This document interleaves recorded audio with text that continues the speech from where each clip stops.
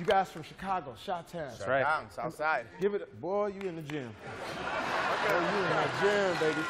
Now, talk about your love for music, though. Jamie, you got to have those creative elements in your life because we deal with a lot of stress. You have to keep it together when everyone else is losing their minds. Give it up for them. Thank you so much. And we thank you guys, man.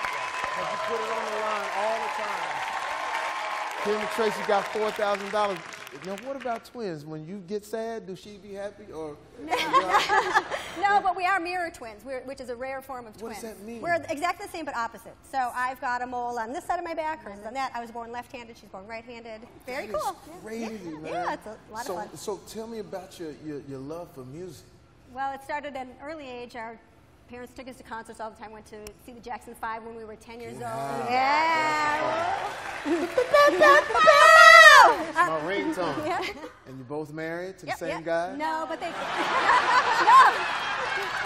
My guys over here, they got that money, $1,000, Steve and Bill. How y'all come together, man? Bill and I have been friends for 20 plus, 22 plus years. Yeah, uh, that's right. We were DJs independently. So what's your MC name?